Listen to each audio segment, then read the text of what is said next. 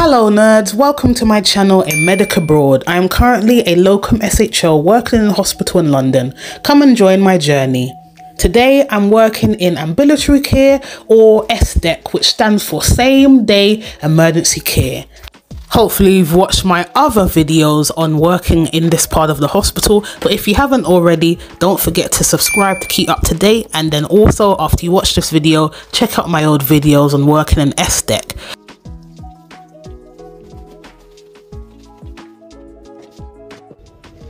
Hello guys, it's currently 8.53am, I start at 9, so I'm a couple minutes early, so I managed to clean my desk.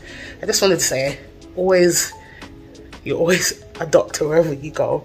So obviously I don't know how to drive, I'm still learning. So wish me luck with that. But I decided to take a taxi today because it was super, super rainy and there's lots of traffic and there was lots of delays and things.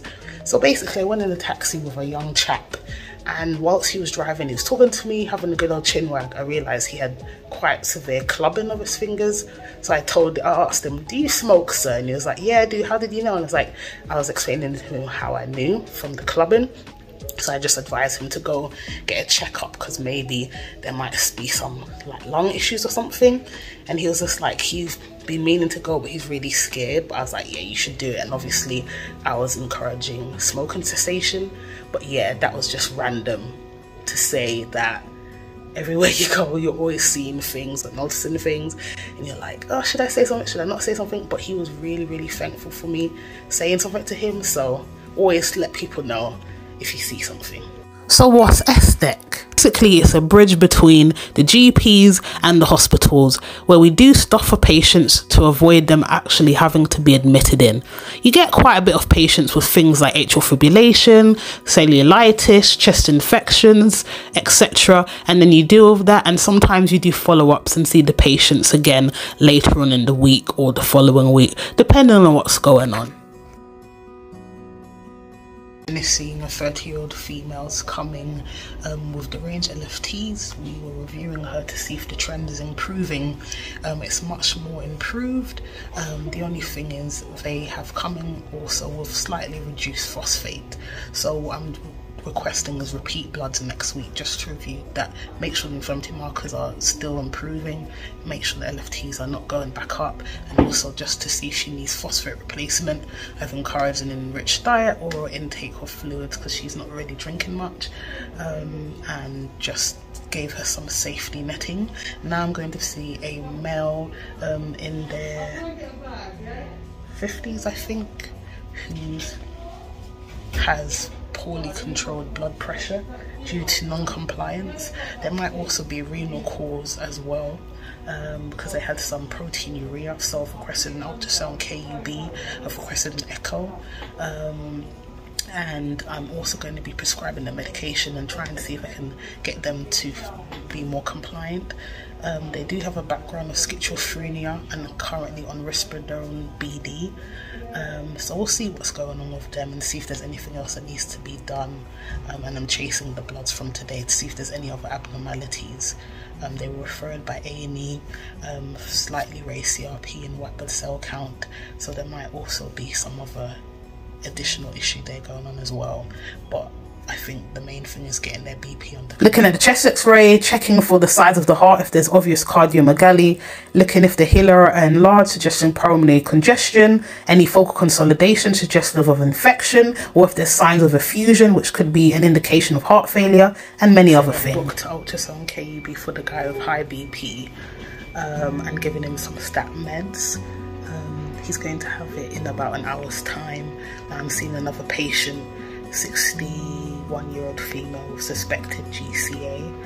Um, so I'm waiting for the bloods, including ESR, and going to review the patient, do physical examination, and kind of sum up what I want to do, and we'll take it from there. So then I'll probably have a break because I'm actually getting a little bit peckish now. So.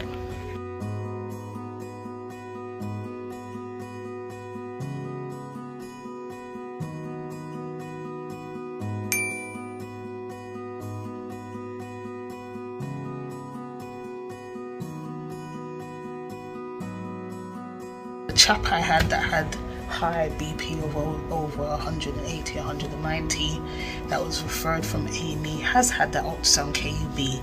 There doesn't seem to be anything really untoward except for cyst and one of the kidneys, so maybe that could be an attribution factor. Um, but I definitely want them to come in to get reviewed again. I'm getting repeat ops to see how they responded to the BP meds we've already given, um, and I've also requested the echo on the system now um, and we'll take it from there and see if we can if there's been a positive change today. They've I've had a discussion with them about taking their medication and they seem to be agreeing with doing that so hopefully they will be more compliant this time around but they do have a background history of um, very high blood pressures in their families and hem- brain hemorrhages and things like that.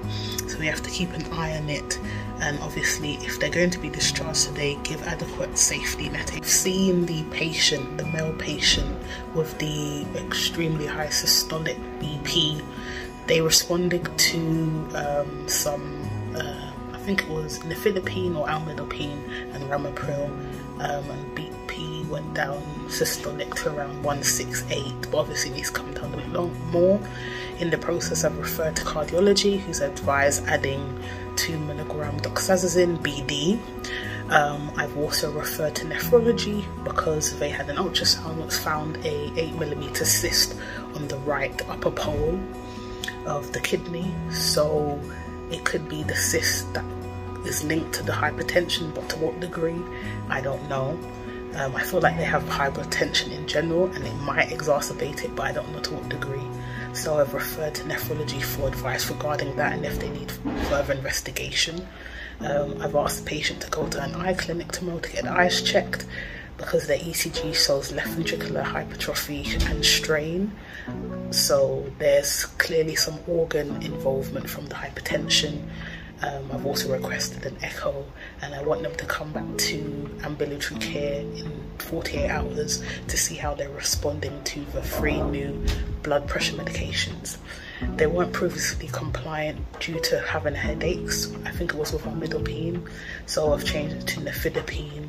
I've added doxazosin and the um, ramipril as I discussed earlier on, and I'm hoping that they'll be okay. Um, and in the meantime I've given them red flags to look for that would alert them to come straight to A&E but thankfully their BP's come down and they'll have another dose in the evening time.